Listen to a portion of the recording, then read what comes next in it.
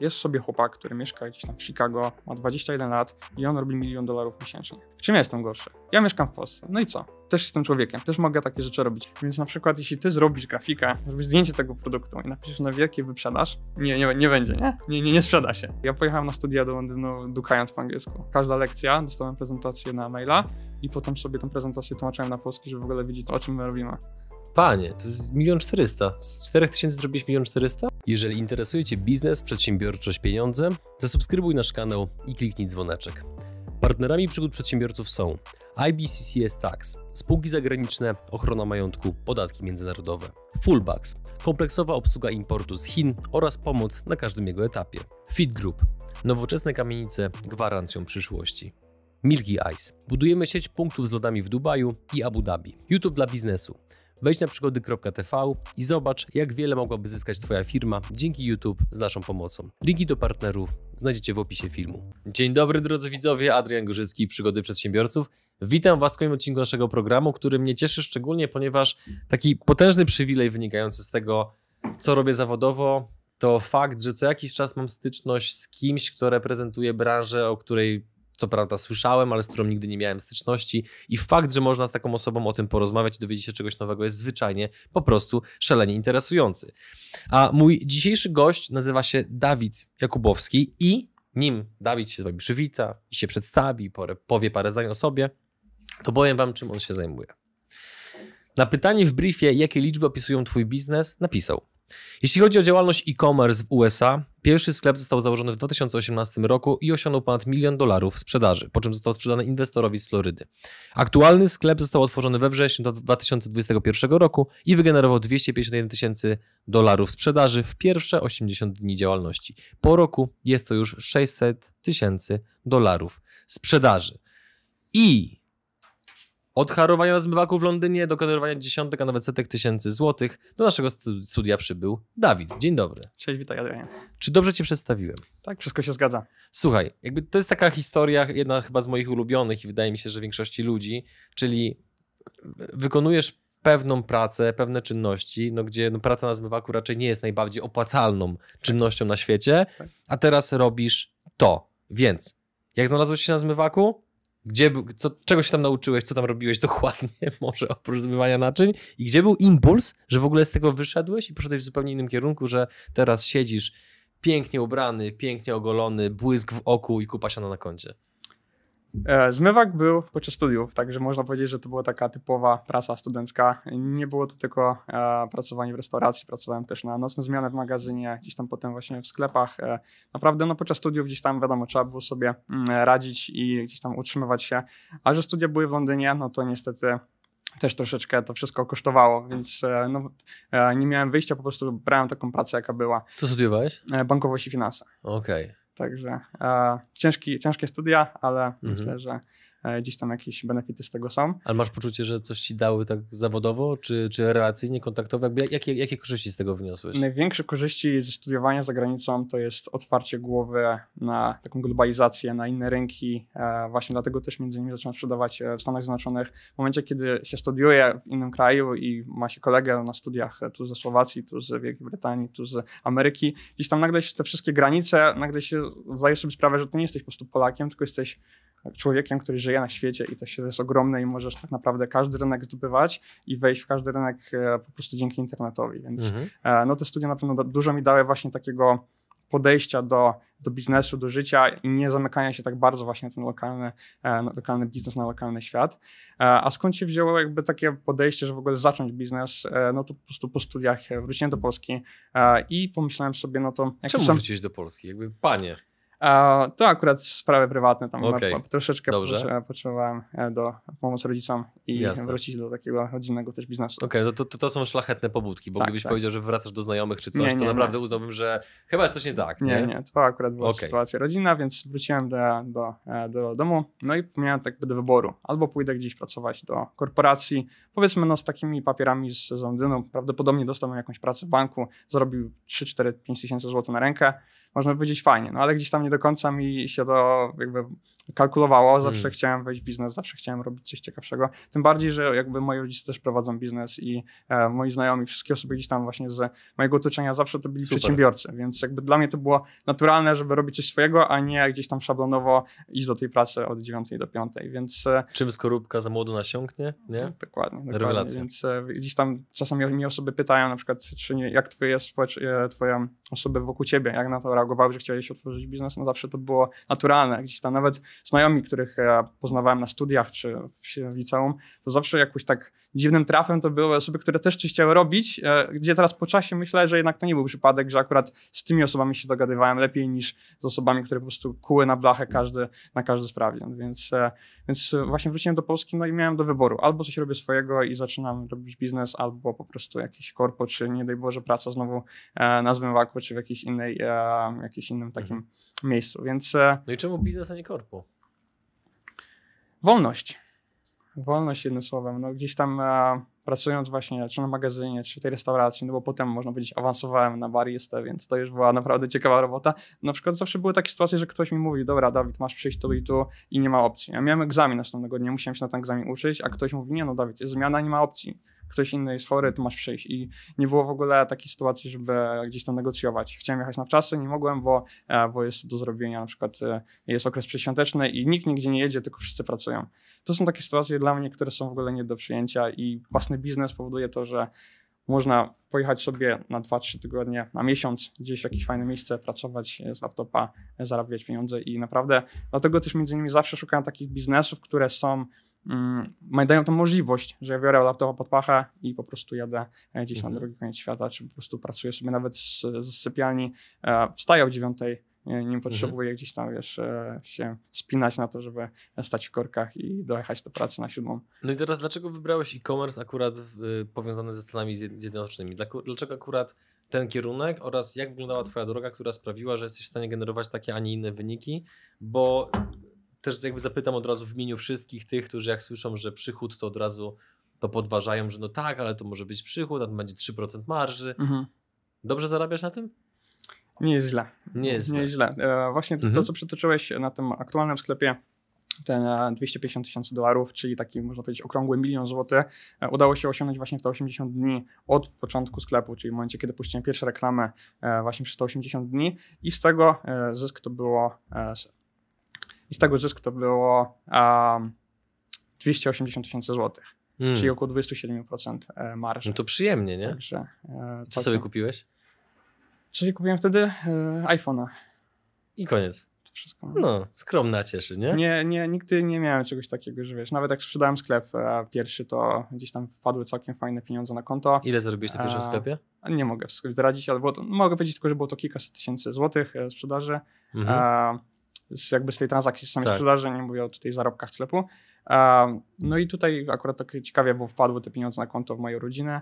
E, Oj, także dosyć dobry dzień. Mhm. Natomiast e, gdzieś tam zawsze e, spokojnie podchodziłem do takich rzeczy, nigdy gdzieś tam nie e, szastałem pieniędzmi na lewo i prawo, nawet jak się udawało gdzieś tam zarobić fajniejsze pieniądze. Z racji tego też właśnie, że gdzieś tam się e, wychowywałem w tej jakby rodzinie przedsiębiorców i wiem doskonale, że przygody przedsiębiorców bywają Mm. różne. Nie zawsze się jest na tym Nie szczycie, czasami po prostu trzeba mieć ten jakiś, wiesz, zapas Mhm. e, gotówki i tak dalej, więc e, na spokojnie z takimi wydatkami nie, nie kupiłem jeszcze Lambo, nie kupiłem jeszcze, wiesz, jakichś e, cudów, natomiast Mhm. e, na spokojnie. No i teraz wracając, dlaczego akurat e-commerce USA? Mhm. To akurat był przypadek, szczerze mówiąc, że akurat wszedłem w tę, w tę branżę, ponieważ studiując finanse, bankowość, tam e, myślałem troszeczkę też o inwestowaniu, jakieś e, kryptowaluty, forex i tak dalej. Kupiłem kurs. E, Kupiłem kurs odnośnie kryptowalut e, i tak, e, już nie pamiętam dokładnie, bo to było całkiem e, sporo czasu temu, ale do tego kursu był jakiś e, dodatek e-commerce'owy. No i oczywiście przerobiłem cały ten kurs odnośnie tych kryptowalut, gdzieś tam poinwestowałem, niestety akurat pamiętam straciłem. E, No i wróciłem właśnie do Mhm. Polski, mówię, jakiś biznes trzeba byłoby zacząć robić. No i wtedy mi się tak przypomniało, kurde, ja tam miałem jakiś taki kurs, coś tam o e-commerce, coś tam internet tak dalej, fajnie, może by zacząć z tym działać. Sprawdziłem to, faktycznie Okazało się, że jest to całkiem e, ciekawy biznes i zacząłem właśnie e, sprzedawać e, właśnie w tym modelu dropshippingowym z racji tego, że po prostu to był biznes, który nie wymagał tak dużych nakładów finansowych, jak mi się wydawało. Wcześniej gdzieś myślałem też o sklepach internetowych, myślałem, że ok, zamówię sobie jakiś fajny towar, gdzieś tam zacznę sprzedawać na internecie, będzie super, tylko no dobra, skąd mam wziąć pieniądze na towar, gdzie najczęściej odzywają się do jakichś producentów, to chcą 1000, 2000, 5, 10 tysięcy sztuk i zapłacić to wszystko jeszcze z przedpłatą tak? No to kurczę, no jak to zrobić? A tu się nagle okazało, że jest dropshipping, ja nie muszę mieć tego towaru na, na magazynie, mogę się z kimś dogadać, potem jak sprzedam, to oni to wysyłają, mówię, kurczę, idealnie. Miałem 2000, pożyczyłem 2000 od mamy, no i otworzyłem swój pierwszy biznes. Mhm. Um, to też nie było tak, że... Poczekaj, poczekaj, usta- ile pożyczyłeś od mamy? 2000. Czyli w... łącznie, miałem 10, łącznie miałem 4000 zł. Dobra, czyli włożyłeś 4000 zł i ile wyciągnąłeś po jakimś czasie? No teraz to już będzie jakieś około 7 milionów, 7 milionów e, sprzedaży. No. E, zyski z tego no to około 20%. Panie, to jest milion czterysta. Z 4 tysięcy zrobiłeś milion czterysta? Coś takiego. No. Ale będzie miniatura, Dawid, co? Dobra miniatura będzie, nie? Okej, okay, przepraszam, kontynuuj. No. I tak, e, dlaczego w ogóle Ameryka? Bo to też nie było tak, że ja sobie siadłem, mówię, hm, gdzie to będę sprzedawał, e, wchodzę na Amerykę, bo tam jest e, piękna e, Los Angeles, Kalifornia i fajna muzyka. No, e, gdzieś tam zaczynałem e, działać w ten sposób, że targetowałem różne kraje. To między innymi była Polska, Australia, Wielka Brytania, też kraje Ameryki Północnej, ponieważ tak dużo mm, ekspertów odnośnie marketingu i e-commerce zalecało, że fajnie byłoby właśnie wchodzić na różne rynki i wtedy masz większą możliwość sprzedaży. Natomiast szybko zacząłem gdzieś to analizować i zauważyłem, kurczę, to Australii z pocztą tam jest dosyć ciężko, raczej długo się czeka na te przesyłki. E, polscy klienci, no to możemy za chwilkę o tym porozmawiać, ale do najprzyjemniejszych nie należą. Potem e, gdzieś tam Wielka Brytania, Kanada, Ameryka i tak dalej, zacząłem analizować te wyniki. Okazało się, że w Stanach Zjednoczonych zawsze były najwięcej sprzedaży, były największe zwroty z inwestycji w reklamę. E, klienci byli, można powiedzieć, najbardziej tacy mm, bezproblemowi. Nawet gdyby coś było nie tak z produktem, czy coś się działo, to po prostu nie wzywali policji po dwóch dniach, że na przykład jak, albo jak przyszła paczka gdzieś uszkodzona, to byli po prostu dosyć przyjemnie nastawieni do tego biznesu. Tak? Można było się dogadać. Tak, można było się dogadać, więc na pewno było to dużym plusem. E, więc po prostu postanowiłem, że idę, można powiedzieć, 100% na Stany Zjednoczone.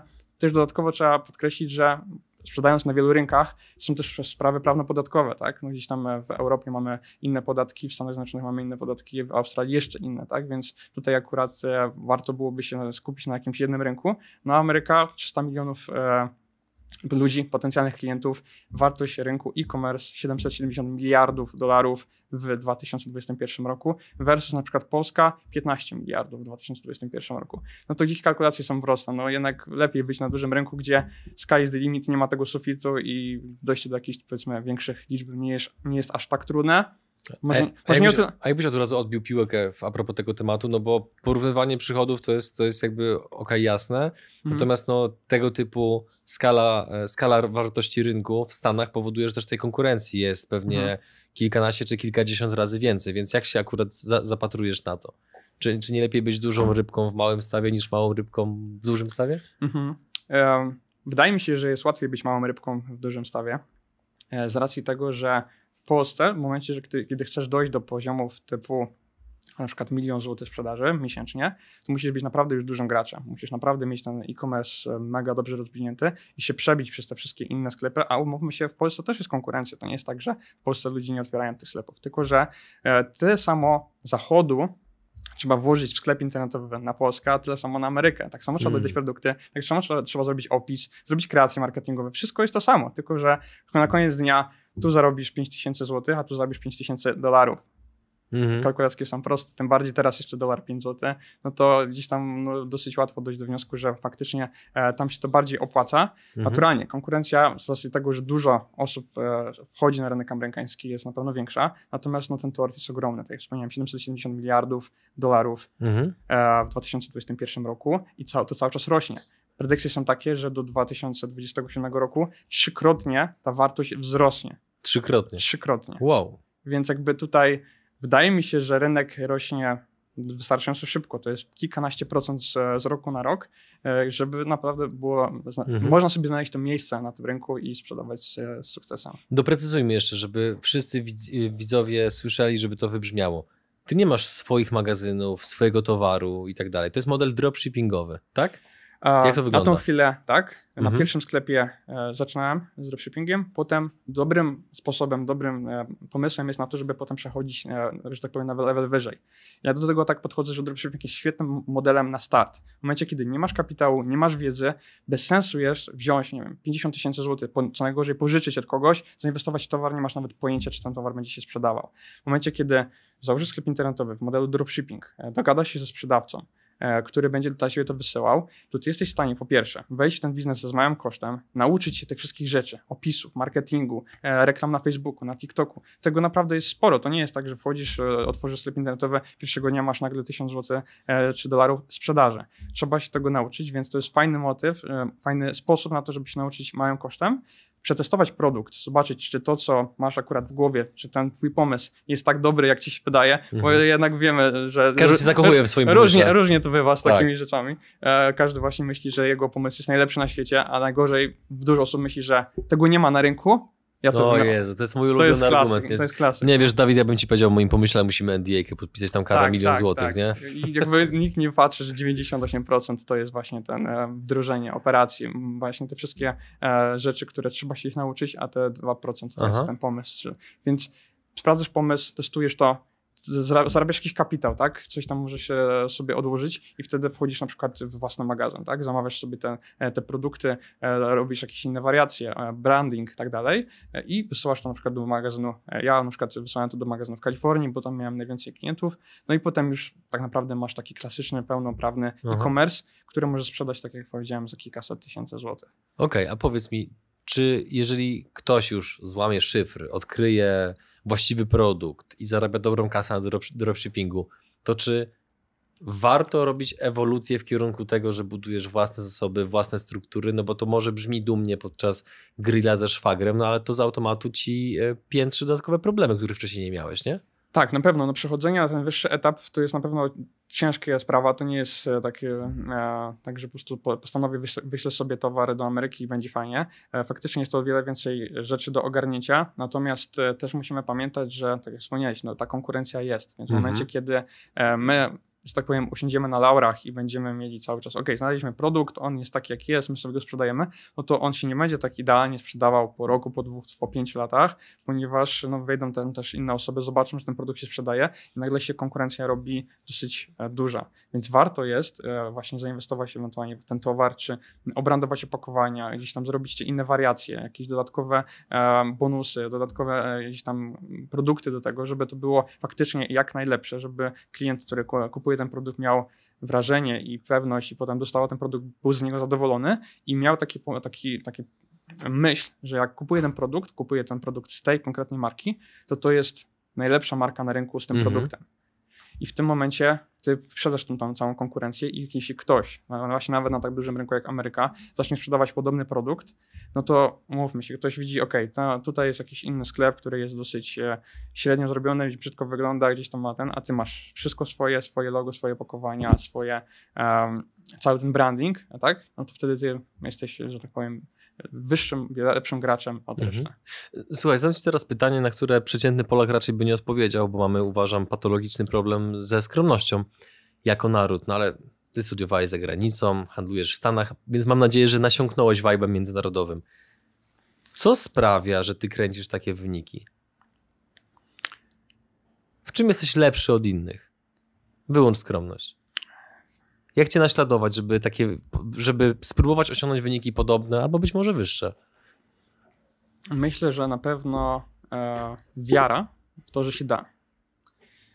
W momencie, kiedy ja się uczyłem też tego, można powiedzieć, fachu, gdzieś tam oglądałem e, różnych też ekspertów odnośnie marketingu, odnośnie e, e-mail marketingu, czy stawiania e-commerce i tak dalej, widziałem, jakie robią wyniki. I miałem takie wrażenie, ok, jest sobie chłopak, który mieszka gdzieś tam w Chicago, ma 21 lat i on robi milion dolarów miesięcznie. W czym ja jestem gorszy? Ja mieszkam w Polsce. No i co? też jestem człowiekiem, też mogę takie rzeczy robić. Nie ma żadnej różnicy między nami, poza tym, że on mieszka tam, ja mieszkam tutaj. I to wszystko. W momencie, kiedy uwierzysz w to, że to się da, w momencie, kiedy będziesz wiedział 100%, to nie chodzi o to, bardzo często dostaję wiadomości takie, Dawid, słuchaj, chcemy spróbować, ale nie wiem, e, otworzę sklep po, po miesiącu zobaczymy. No nie, to nie jest tak, że po miesiącu zobaczymy. Ja przez pierwszy miesiąc, jak zaczynałem, nie miałem wyników. Po pierwszy, po drugim miesiącu, jak coś tam się sprzedawało, ale e, wszystkie zyski od razu reinwestowałem. Dopiero po jakimś czasie zaczęły się pojawiać te faktyczne zyski i wtedy miałem takie, o kurde, to naprawdę się zaczyna dziać, ale jakby od razu miałem tą wiarę, tak, że to da się zrobić, bo już inni ludzie to zrobili, skoro oni mogą, to ja też mogę. To pierwsza rzecz, a druga rzecz to jest po prostu konsekwencja. Każdego dnia siadamy przed laptopem i robimy po prostu just work. Mhm. I, to... no i teraz robimy co właśnie? Jakbyś miał nas zabrać do swojego, wiesz, warsztatu szalonego naukowca łamanego na sprzedawcę w e-commerce, w dropshippingu, to jak ten twój warsztat wygląda? Jak wygląda każdy dzień twojej pracy? Jakby na co patrzysz? Gdzie szukasz wiedzy? Jakie robisz testy? Zabierz nas do kuchni. E, przede wszystkim e, na tą chwilę e, większość rzeczy, które robię, no to jest gdzieś tam już doglądanie tego sklepu już aż tak dużo nie zajmuje mi to czasu na tą chwilę, mhm. ponieważ już ten sklep już prosperuje. Natomiast w momencie, kiedy zaczynam z danym sklepem, no to na pewno jest to zrobienie odpowiednich kreacji, marketingowych, odpowiednich zdjęć, żeby to wszystko wyglądało e, ciekawie. Dobrze wiesz, że jak wchodzisz na jakiś sklep internetowy i są tam słabe opisy, słabe zdjęcia, no nie jesteś e, skory nie do tego, zaufania. Żeby, żeby gdzieś tam kupić i właśnie nie ma tego zaufania, więc na pewno trzeba się skupić na tym, żeby ten sklep wyglądał ładnie. A skąd wiesz, że ten sklep wygląda ładnie dla danej grupy docelowej? Skąd wiesz, że ta kreacja jest odpowiednia? Testuję. Testuję dużo kreacji. W jaki sposób, jakim narzędziem? E, no, jeśli chodzi o kreację wideo, no to przykładowo e, ja głównie się reklamuję na Facebooku e, i na Instagramie, więc w momencie, kiedy robię kreację wideo, robię różne warianty.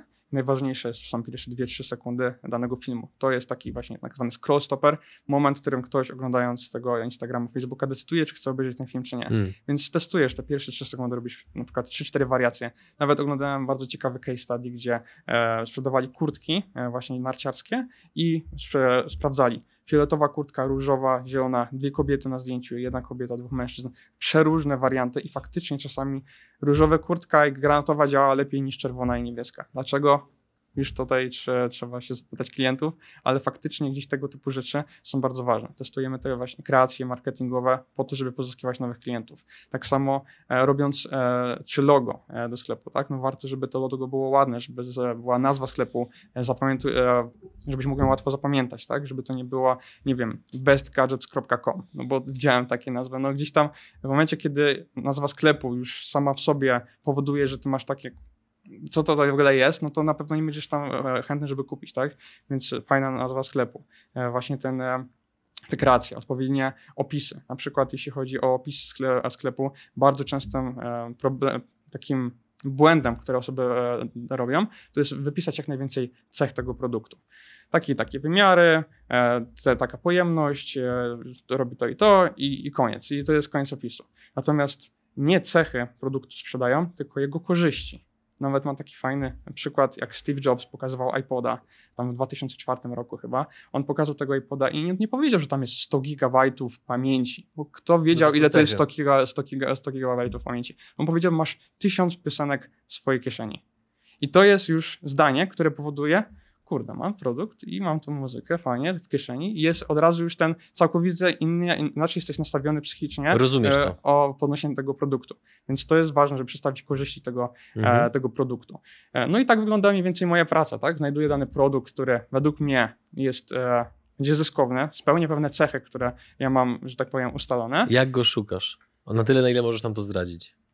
E, jak szukam produktu. Mam kilka różnych strategii, natomiast taką naj ciekawszą, najprostszą i naj, taką strategią, którą najczęściej stosuję, jest włączenie VPN-u na Amerykę, po to, żeby mi pokazywało e, amerykańskie treści na Instagramie, na Facebooku. I za każdym razem, jak zobaczę jakąś reklamę, wchodzę na sklep, dodaję do koszyka, przeklikiwuję i wychodzę. Robię tak kilkanaście razy z różnymi sklepami. W momencie, kiedy algorytm Facebooka nauczy się tego, co ty chcesz zrobić, czyli w tym momencie jesteś e, chętnym kupującym, zaczyna cię bombardować taką ilością różnych produktów, że nagle ty masz na Instagramie tylko i wyłącznie produkty innych sklepów.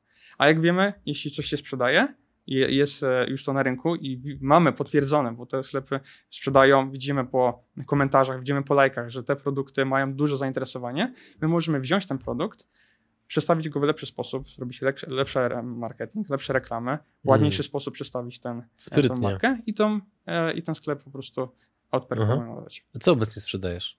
Oj, Nie możesz powiedzieć? nie mogę powiedzieć. Ale to coś legalnego. Tak, no legalnego. Natomiast e, sklep, który aktualnie posiadam, zresztą ten, który zrobił milion złotych sprzedaży, jest on w case study w moim kursie. E, Mhm. Więc e, jest to wiedza tylko i wyłącznie dla osób, które e, po prostu są, dołączyły do tego projektu. No to słuchaj, skoro tak pięknie i zgrabnie doszliśmy do product placementu w tym nagraniu, tak, drodzy widzowie, teraz będzie fragment o tym, w jaki sposób sprzedawać w Stanach Zjednoczonych, no to powiedz, co w tym kursie nasi widzowie, słuchacze, którzy są za, zainteresowani tym tematem, co znajdą, dlaczego warto go kupić, ile on dzisiaj kosztuje? Na tą chwilę to jest e, 1799 zł za kurs. Nie dolarów? Panie, trzeba się szanować. No tutaj e, e, docieramy do polskich odbiorców, tak, że cena jest Jasne. dostosowana do polskich odbiorców. Mhm. A tak też e, myślałem, na kod rabatowy przygody przedsiębiorców możemy dać 200 zł zniżki. Rewelacja, rewelacja, dla dziękujemy. E, także e, dlaczego kurs, jak to w ogóle wygląda?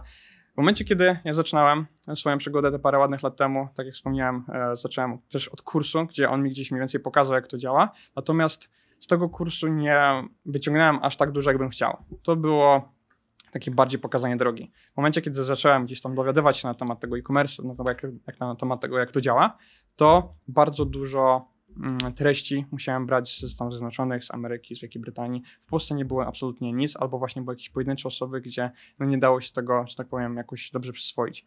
Więc tak sobie pomyślałem, dobra, ja zacząłem działać, coś nauczyłem, fajnie byłoby się też podzielić właśnie na tym polskim rynku, tak, żeby pokazać też osobom, które tutaj są e, i chcą zacząć działać, że się da, że można, że tutaj nie tylko te dzieciaki z Ameryki robią takie wyniki, też osoby w Polsce potrafią zrobić e-commerce, potrafią fajnie wejść na inne rynki i sprzedawać. Więc przede wszystkim zało- za- założyłem na początku kanał na YouTubie, chciałem to pokazać, pokazać wszystkie te właśnie wyniki, zainspirować troszeczkę. E, i dużo osób właśnie się pytało odnośnie Dawid, czy masz jakiś kurs, czy coś, możemy się od ciebie jakoś nauczyć, chcielibyśmy więcej się dowiedzieć, więc jakby to naturalne było w pewnym momencie, że właśnie mm, ten kurs e, powstał. I jakby tworząc ten kurs miałem takie, co ja bym chciał wiedzieć, zaczynając te 4 lata temu. Taki, ja ten kurs zrobiłem dla siebie właśnie sprzed 4 lat. Dla takiego Dawida, który zaczyna w ogóle swoją drogę, nie ma pojęcia o niczym, a chce działać w tej branży. E, Więc tak naprawdę jest to kompleksowy kurs. Jest tam od podejścia w ogóle do samego biznesu. Jest lekcja o mindsetie, jak w ogóle postrzegać pewne rzeczy w w biznesie, na co się przygotować. E, Jest, to są e, szukanie produktu, jest tworzenie sklepów internetowych, cały marketing na Facebooku, na Instagramie. Mnóstwo naprawdę wartościowych treści, które pokazują, jak ten rynek działa. Wspominam też o sprawach e, podatkowych, bo to jednak jest Ameryka. Dużo osób gdzieś tam ma takie, kurczę, no to jak to wygląda, e, jakie tam są podatki, czy to ja dam radę i tak dalej. E, O tych wszystkich rzeczach mówię, jak to wygląda. Jest też bonus dodatkowy z ekspertem odnośnie podatków, także wszystkie rzeczy są tam pokazane. Czego ja nie chciałem robić, bo ja również kupiłem bardzo dużo kursów w swoim życiu i uważam, że kursy to jest jedna z najlepszych rzeczy, jaką można zrobić, żeby zdobyć wiedzę w tych czasach szczególnie, no bo możemy pójść na studia i zmarnować 3 lata, no ale gdzieś tam no jednak e, nie będzie, podejrzewam, to najlepsza inwestycja, gdzie za relatywnie małe pieniądze możemy mieć ten zwrot z inwestycji bardzo, Ułamek bardzo tego. duży. Tak naprawdę. A po, powiedz, bo na pewno któryś Heniek albo Karyna zapytał to w komentarzach.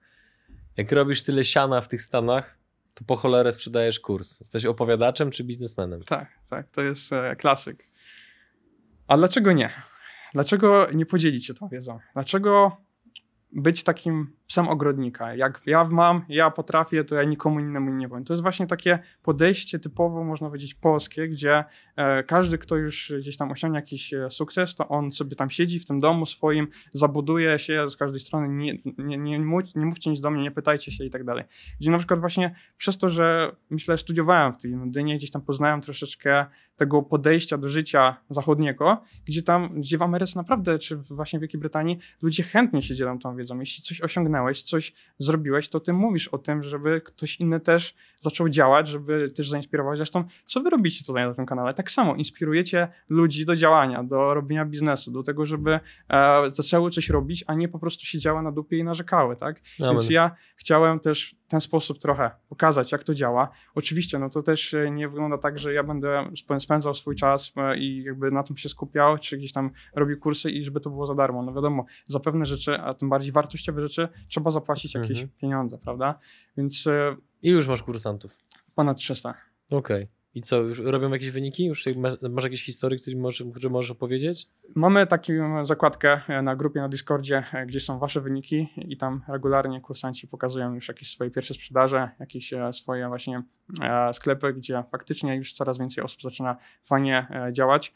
Kurs powstał niedawno, także dopiero to są pierwsze miesiące. Mhm. Myślę, że teraz czwarty kwartał pokaże naprawdę na co ich stać i będą hmm. naprawdę hmm. dziesiątki tysięcy sprzedaży. Jest jeden kursant już, który zaczął zarobić dziesiątki tysięcy złotych sprzedaży, mhm. natomiast to się dopiero fajnie rozkręca. Kto głównie kupuje ten kurs? To są młodsze osoby, starsze osoby, początkujący, zaawansowani? Przede wszystkim osoby, które chcą zacząć i powiedzmy nie mają jeszcze jakby takiego pojęcia, jak to wszystko ugryźć, więc to będą na pewno osoby początkujące. Osoby średnio zaawansowane też często kupują, żeby gdzieś tam znaleźć jakąś e, dodatkową, nawet jeden tik, jeden, jeden, e, jedną rzecz, jedno narzędzie, które naprawdę to, potrafi... To, to, to potrafi zwrócić potem taki kurs razy 100, ja, ja na przykład e, osobiście kupuję regularnie kurs, praktycznie każdego miesiąca, ponieważ kupuję jakiś kurs od osoby, na przykład z Ameryki, mm. jakiegoś marketingowca, który gdzieś tam ma jedną mi sprzeda rzecz, jedno narzędzie, które nagle, wiesz, odmienia całkowicie mhm. jakieś rzeczy w firmie, więc e, na pewno e, są to osoby, które zaczynają.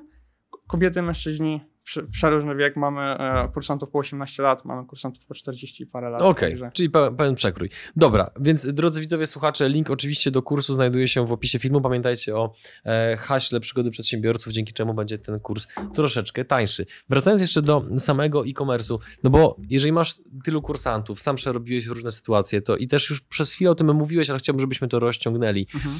no bo chęci, determinacja, konsekwencja to jest jedno. Mhm. Natomiast no, często się mówi, co cię nie zabije, to cię wzmocni. No ale czasami no, możesz się potknąć tak bardzo, że jednak będzie totalny już KO, game over i do piachu. Jakie najczęściej widzisz błędy, które grzebią z automatu w ziemi dany e-commerce? To by było na pewno skupianie się na rzeczach, które nie są istotne z tego co zauważyłem, dużo osób gdzieś tam, zresztą ja robiłem dokładnie to samo, jak zaczynałem. E, przykładowo, e, tworzymy sklep internetowy, no i na tym sklepie mamy różne produkty. W momencie, kiedy robimy reklamę na dany produkt, no to odsyłamy tego naszego potencjalnego klienta na stronę tego produktu, tak? bo to jest nasz cel, żeby sprzedać dany produkt. A w momencie, kiedy osoby zaczynają, i to ja poświęciłem naprawdę dziesiątki godzin na to, do, do, dopracowują stronę główną, na przykład sklepu internetowego, albo na przykład banner na głównej stronie. Mm. Ja pamiętam, zaczynałem właśnie mniej więcej, to było w październiku 2018 roku, e, zbliżało się Halloween. No to mówię, kurczę, no jak jest Halloween, to ja muszę, jeszcze, a nie jest sprzedaż na sklepie, nie? A ja po prostu mówię, dobra, muszę mieć piękny banner, grafiki, tam Canva, odpalona Photoshop, gdzieś tam jakieś, wiesz, dynie, tu tam kolory. E, co każde wydarzenie zmieniałem kolorystykę całego sklepu, żeby mm. była w danym temacie. Na grubo. Po prostu, no, e, co najmniej jakby e-commerce, który robi po 100 milionów miesięcznie sprzedaży, nie? I ma cały team e, ludzi, którzy nad tym czuwają. Więc na pewno takie skupianie się na rzeczach, które są nieistotne, takich drobiazgach, co nie?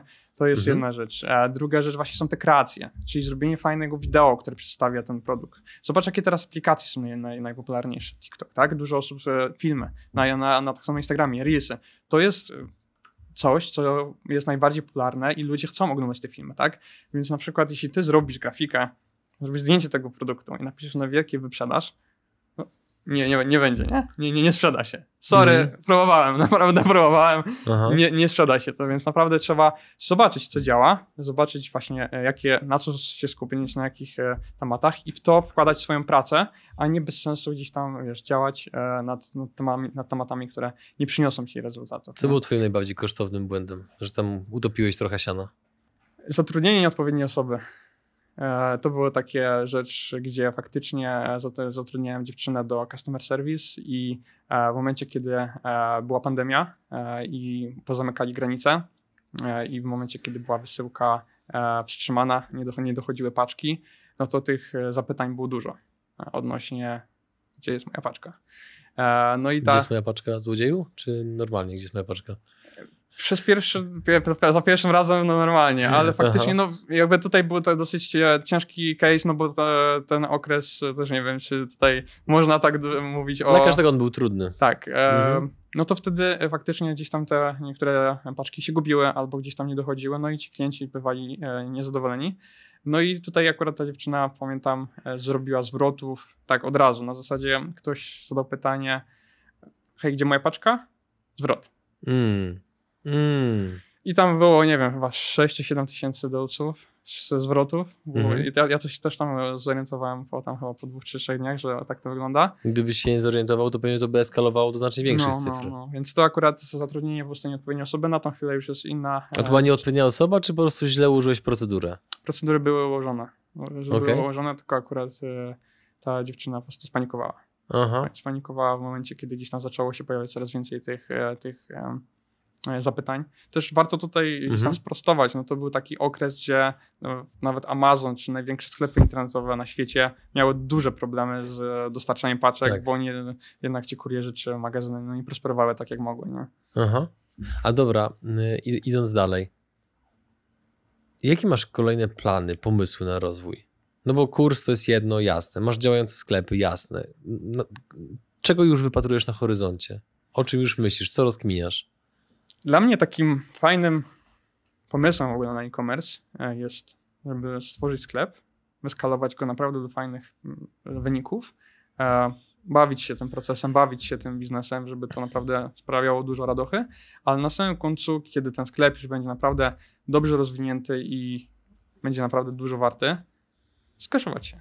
Mhm. I to jest taki mój plan najbliższe 5-10 lat, żeby zrobić tak duży e-commerce, że e, w momencie, kiedy go będę w stanie sprzedać, no to już, e, że tak powiem, nie będę już w ogóle myślał o finansach. Aha. Słuchaj, bo ja zapomniałem w ogóle zapytać, a powinienem chyba na początku, ile ty masz lat?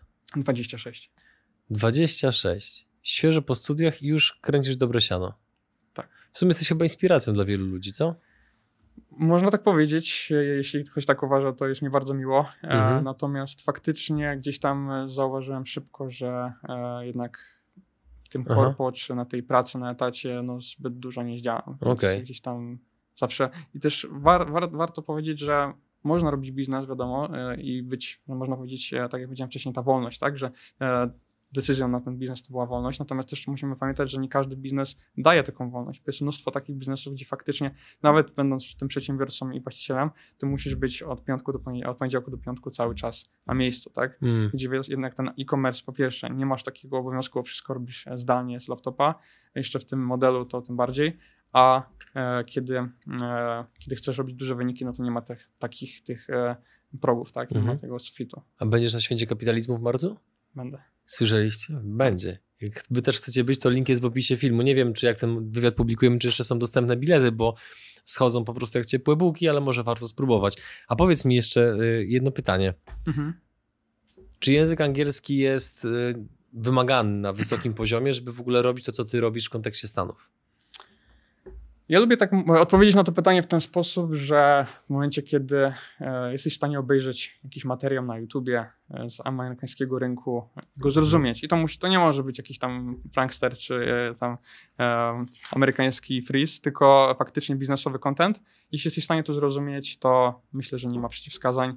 Ja pierwszy rok w e-commerce, Google Translate i Grammarly, moje dwie ulubione aplikacje i każde zdanie. Dało się. Słuchaj, ja pojechałem na studia do Londynu dukając po angielsku.